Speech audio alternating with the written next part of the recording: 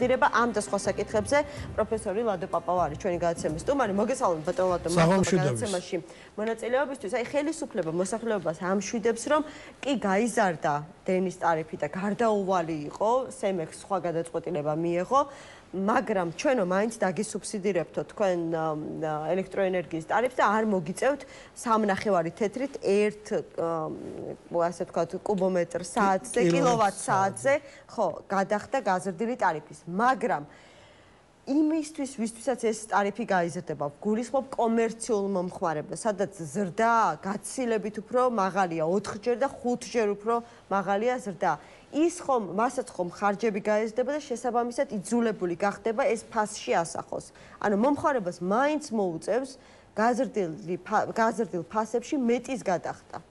რა თქმა უნდა, ეს გარდუვალია, რა თქმა უნდა, ინფლაციას ექნება ადგილი, მაგრამ მოდი შევხედოთ, ეს პროცესი რამდენად არის ობიექტური და ფაქტია, რომ ეს პროცესი ობიექტურია იმ მარტივი მიზეზის გამო, რომ დღეს პანდემიამ გამოიწვია კრიზისი. ეს კრიზისი არ არის მარტო საქართველოსში, ეს გლობალური ეკონომიკური კრიზისია და ყველა ქვეყანა ცდილობს თავისი შესაძლებლობის მიხედვით რაღაც პროცესები შეარბილოს, შეუმსუბუქოს სოციალურად შეჭურებულ მოსახლეობას და დაეხმაროს ბიზნესს.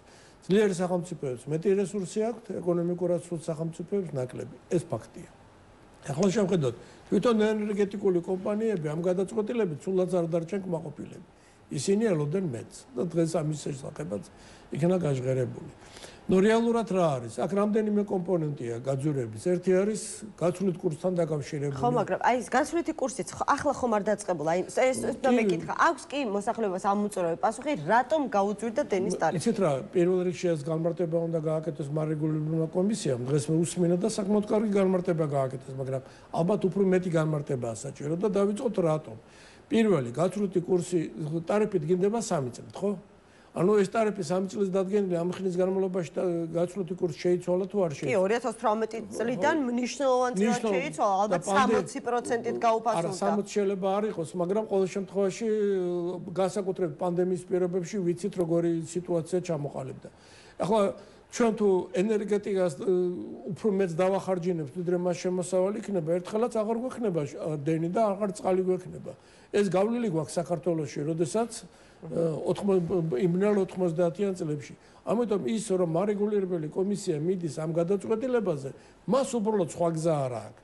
მან უნდა დაიცვას ორი მხარის ინტერესი. ერთი რომ არ გაიზარდოს მოსახლეობას და ბიზნესს ძალიან ტარიფი, მეორე მხრივ მაქსიმალურად აუცილებელი ხარჯები იყოს დაფარული, რომ ეს კომპანიები უბრალოდ წაგებაზე არ წავიდნენ.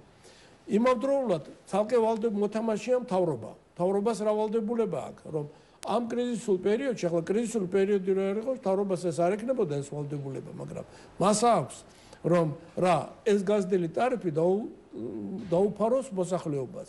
თანაც რა თქმა უნდა არა ყოველას, ამიტომ ეს 300 კილოვატ-საათი თუ გახსოვთ, გაზაფხულზე იყო 200. 200, კი ბატონო, ახლაც მოქმედებს ეს 200-იანი ზღვა. კი, ახლა უკვე საუბარია 300-იანზე. გასაგები, ანუ მთავრობა მიდის მაქსიმალურად რესურსების გადანაწილებაზე, რაც აბსოლუტურად სწორია. თუმცა ბატონო ეს არ არის ერთადერთი მიზეზი ლარის კურსი რის გამოც არა გეტახმებით ხო ელექტროენერგიის ტარიფი გაიზარდა. ანუ ადგილობრივად წარმოებული ელექტროენერგია მცირდება წლიდან წლამდე. ეს რასთან არის დაკავშირებული? არა კიდევ კიდევ საინტერესო რამეა. თვითონ ამ კრიზისმა გამოიწვია შემდეგი რამ. ელექტროენერგიას რო აწარმოებ ხომ ვერ დაასაწყობებ?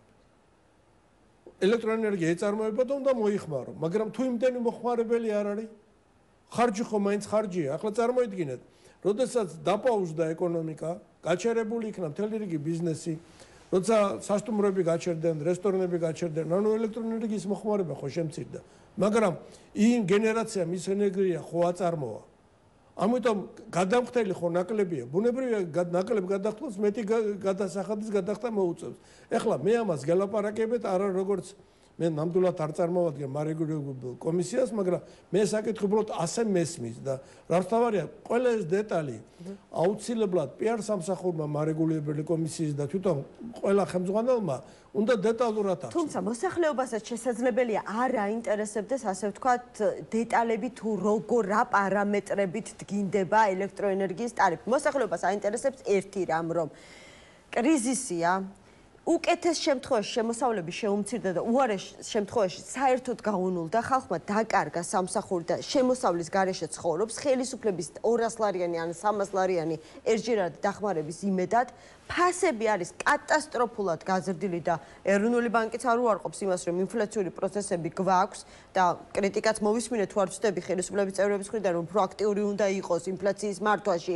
ეროვნული ბანკი, იმიტომ რომ ხედავენ მოსაყნეობის უკმაყოფილება როგორ იზრდება ფაქტობრივად ყოველდღიურად და ამ პირობებში კიდევ იზრდება დენის გადასახადი. კარგი, გავიგე რომ ერთი წლის განმავლობაში შენმე დენის გადასახადს დამიფარა, მაგრამ ამავე დროს მეუბნები, რომ ეს ერთი წელი მომავალი ერთი წელი 2021 კიდევ უფრო რთული იქნება, ვიდრე 2020. აი გუშინდელი დღესავით მახსოვს, როდესაც კორონავირუსის პირველი შემთხვევა დაფიქსირდა აქ. სწრაფად გადის დრო, ბატონო. ხო, გასაგებია, მაგრამ ჩვენ რა მარტო ჩვენ ვართ ომში? თელი მსოფლიო არ არის? და ახლა ჩვენ შეგვიძლია ვაკრიტიკოთ, კარგი, დაუშვათ არ იყოს გახარია და იყოს ვიღაც სხვა. რას გააკეთებს სხვას? რასაკეთებს ამერიკის მთავრობა, რასაკეთებს ევროკავშირის მთავრობა, ევროკავშირი გაიჭედა საერთოდ ბიუჯეტის მიღებაში. რასაკეთებენ წამყვანი ევროპული ქვეყნები, სად არის ის სტანდარტი, რომელიც არ გამოყენებაშიც უნდა ვინმე დავადანაშაულოთ, ან უთხრათ გამოიყენე ეს, ვის აქვს ეს სტანდარტი? არავის, იმიტომ რომ დღეს სოფლიო რა პრობლემის წინაშე დგას, ასეთი რამე არ ყოფილა. ხშირად ავდარებენ ამ პრობლემას ესპანური გრიპის პანდემია როცა იყო. მაგრამ მაშინ სოფლიო ასეთი გლობალური არ იყო. არ იყო მიწოდების და მოთხოვნის ასეთი ჯაჭვები, რომლებიც ახლა დაირღვა. ეს ყველაფერი ახალი ფენომენია. სად იყო მაშინ ასეთი ტურისტული გადაადგილებები, ფრენები სად იყო, ავიაცია სულ ახალი იყო შექმნილი. ეხლა ხო სულ სხვა გარემოში ვართ. თანაც ეს გავრცელებაც ხო უფრო მასშტაბურია და რამსთავარია. აი ეხლა დღეს ბიუჯეტი მიიღეს, აი სწორედ ამასთან დაკავშირებით. გამიშნოლოვანია რომ მიიღეს მაგრამ მე დარწმუნებული ვარ რომ თავრობას დასჭირდება არაერთხელ ამ ბიუჯეტის გადახედვა წლის 2020 აი თუნდაც ამ საკითხთან მიმართებაში ხო? არა ეს საკითხი უკვე გათვალისწინებულია უკვე გათვალისწინებულია ბიუჯეტი დღესვე ასახეს 2020 ბიუჯეტი თავრობამ ეხლა წარმოიდგინეთ წელს საკმაოდ რთული საბიუჯეტო პროცესი იყო გასაგები მიზეზების გამო. ეს ყოველ 4 წელიწადში ასია როდესაც კონსტიტუციის მიხედვით 30 სექტემბრამდე პარლამენტ შესატანია ბიუჯეტი, შემდეგ არის არჩევნები და მოქმედ მთავრობას ყოველთვის ბევრი კითხვები აქვს იმასთან დაკავშირებით, დარჩება თუ არ დარჩება ხელისუფლებაში. ამას დაემატა ახლა კიდევ ეს პანდემია. ახალი შეზღუდვები, ვინმე გეგმავდა რომ შეზღუდვები იქნებოდა მარტო საქართველოსში კი არ, სოფლიოში ვინმე გეგმავდა? მესმის ბატონალდო, მაგრამ როგორ მოვედით პანდემიამდე და როგორ მოვედით შეზღუდვებამდე, საქართველოს მანამდეც არასახარბიელო ეკონომიკური ზრდის ტემპი ქონდა 4-5%-იანი მაქსიმუმ 6%-იანი. აბა რამდენი და ქონდა 29? 30? და რომ მქონდეს ცუდი იქნება? საიდან? მოდი თქვა ახლა ოცნებას არავინ დაგვიშლის ხელს, მაგრამ ხო ერთი ქონდა აზერბაიჯანს 36% ერთ წელს და და მეორე წელს ქონდა 29%. ერთხელ ნავთობის საბადო იყო, მოპოვება გაიზარდა და მეორეჯერ გაზის. შაღდენის საბადო. მაშინ არ უნდა გასცე არარეალისტური წინასაარჩევნო დაპირებები. აი იგივე გავიხსენე ზუსტად მახსოვს, ხო? ქრისტიან დემოკრატების დაპირება ხომ გახსოვთ გადაღებული სლოგანი დენი ხუთი თეთრი, რაღაცა თუ დენი 10 თეთრი, გაზი ხუთი თეთრი, რაღაცა წყალი უფასო. შემდეგ იყო ქართული ოცნება, რომელმაც გააკეთა განცხადებები, რომ ჩვენ გავანახევრებთ ამ ტარიფებს. მე ბიძინა ივანიშვილი გამოვიდა თვითონ თქვა, რომ არც ასე მარტივად ყოფილა საქმე და ვერ გავანახევრებთ და ხუთი სამი თეთრით შეამცირეს. ხო როგორც ვახსოვს თუ 10 5 თეთრი ჩია. მოდით შევხედოთ რა ახლა 2012 წლის ამბებს თუ გავიხსენებთ კი ბატონო გეთახმებით მაგრამ დღეს ვარ სოფლიო ომის წინაშე. არის პანდემია ხო? ახლა მოვთხოვოთ იმან 2012-ში ელაპარაკა არ უარყოფილიყო ეს პანდემია შეიძლება ეს საუბარი კონსტრუქციული ყოფილიყო. ახლა ეს რასაც თქვენი ძახით ეს არის მოგონება და მეტი არაფერი. ხო, მაგრამ აი ოპოზიცია იყოს ჩემს ადგილას გეტყოდათ რომ არ შეიძლება ხა ყველა შენ შენი უნიათობა ყველაფერი დააბრალო პანდემიას ანუ მაგასაც მნიშვნელობა აქვს როგორი ეკონომიკით რამდენად ძლიერი ხდები ხომ ასეთ კრიზის რაც უფრო სუსტი ხარ მით უფრო მოწყვლადი ხარ კრიზისის მიმართ. გეთახმებით გეთახმებით ამიტომ მე პირველად ხო არ ვარ თქვენთან თუნდაც თქვენთან სტუდიაში რამდენჯერ გვითქვია რომ ტურისტულ მახეშია ქვეყანა გახვეული. ტურიზმი არ უნდა იყოს წამყვანი დარგი, უნდა განვავითაროთ ეკონომიკის რეალური სექტორი, მრეწველობა, სოფლის მეურნეობა, უნდა გადავიყვანოთ ქვეყანა საერთოდ ცოდნაზე დაფუძნებულ ეკონომიკას და წინააღმდეგ შემთხვევაში ქვეყანა ვერ განვითარდება მაგრამ ახლა დღეს გვაქვს ჩვენ სხვა მდგომარეობა, დღეს ვართ ომში. კარგი. ამიტომ ის რაც მთავრობა შეეძლო და არ გააკეთა, ეს ჩვენ კი არ უნდა დავივიწყოთ, მაგრამ დღეს ახლა თვარში თითი ჩამთხარო, როდესაც აბსოლუტურად სხვა პრობლემებია.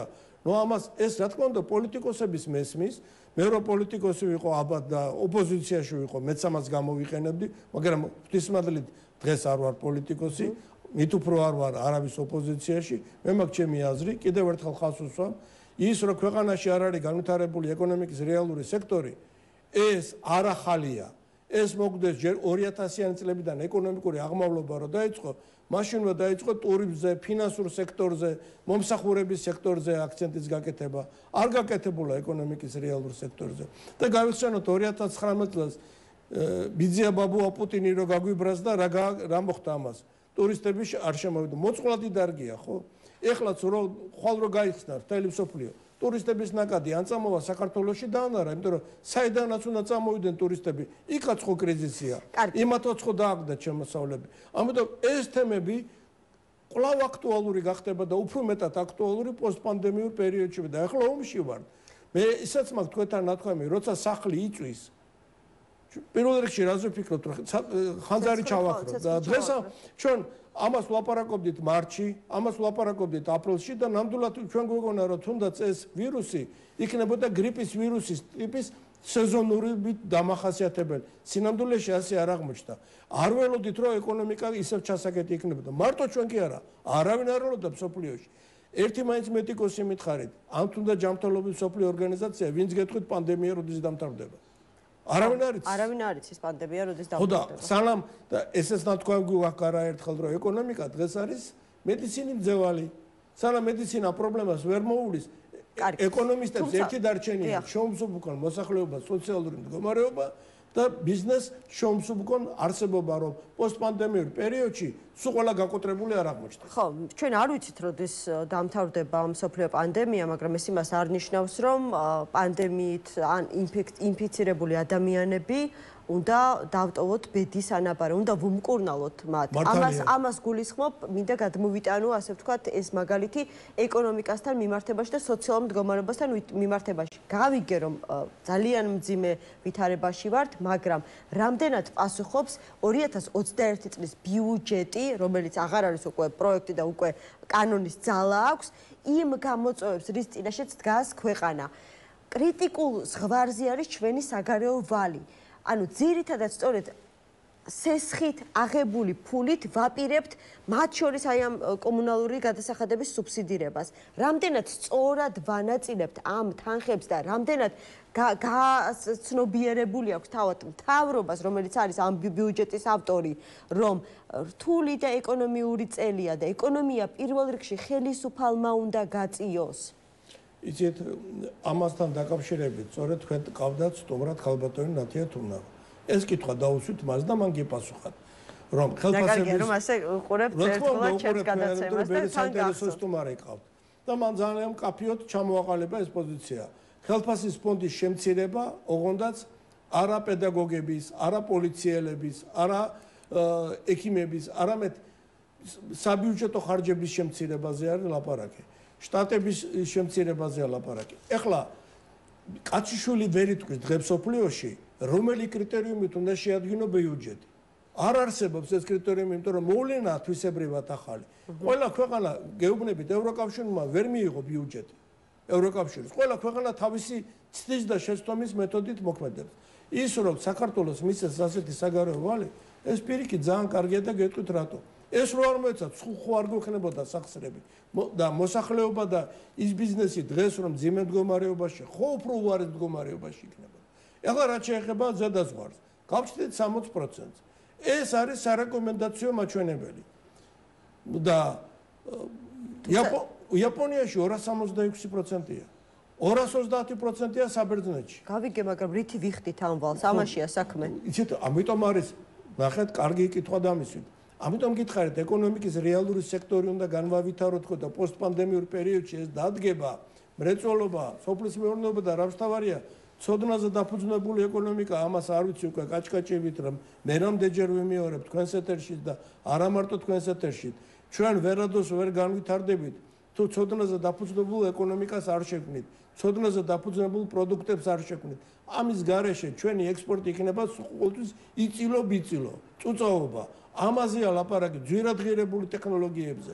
ამისთვის საჭირო არის სერიოზული თანხების ჩადება განათლებაში, მეცნიერებაში, მივესალმები განათლების და მეცნიერების სამინისტროდან კულტურის სამინისტროს გამოყოფას, როგორც იმ თვალსაზრისით, რომ კულტურა სჭირდება თავის სამინისტრო, ისე განათლება და მეცნიერებასა თავისი ერთი პატრონი სჭირდება. კონცენტრირება ამაზე საჭირო. თანაც ეს მალე არ იძლევა შედეგს. ამას დიდი დრო უნდა, მაგრამ თუ დღეს დავიწყებთ, წელს დავიწყებთ 10 წლის მერე გვექნება, თუ გაისა დავიწყებთ 11 წლის მერე, მაგრამ მრეწველობა და სოფლის მეურნეობა ეს უფრო სწრაფად აღდგენადია. აი თუნდაც გავიხსენოთ, ახლა ხან გახარიან და თავრობა და ეს რომ სულ მრეწველობის საწარმოებს გახსნას რუსთავში. ასეთები ბევრი უნდა იყოს ქვეყანაში. მაშინ იქნება შემოსავალი და არც ის მაშინ კრიზისის ნაკლებად შეგვაშინებს კი ბატონო. მაშინ კრიზის კრიზის ყოველ შეგვაშინებს, მაგრამ უფრო ადვილად გავუმკლავდებით. მადლობა, ლადო პაპავა, პროფესორი იყო ჩვენი გადაცემის სტუმარი. მე კიდევ ერთხელ შეგახსენებთ, რომ დღეს ძალიან მნიშვნელოვანი დოკუმენტი მიიღო საქართველოს პარლამენტში. რა თქმა უნდა, ბატონო. რა თქმა უნდა, ეხლა თქვენთან ეთერში ვარ, მინდა ბედნიერი შობა ახალი წელი უსურვო ჩვენს მაყურებას, თქვენ პირადად და ვისურვოთ, რომ 2021 წელს ისეთი სიტუაცია შექმნილი იყოს, რომ პანდემია დაემარცხებიო სოფლიოს და ჩვენ უკვე აღშენებლობაზე და აყვავებაზე გვესაუბროს უფრო მეტი. დაიხარეთ ბატონო, მადლობა, მადლობა თქვენც გისურვებთ დამდეგ ახალ წელს. ლადო პაპავა პროფესორი იყო ჩვენი გადაცემის სტუმარი. აი ამ პოლიტიკურ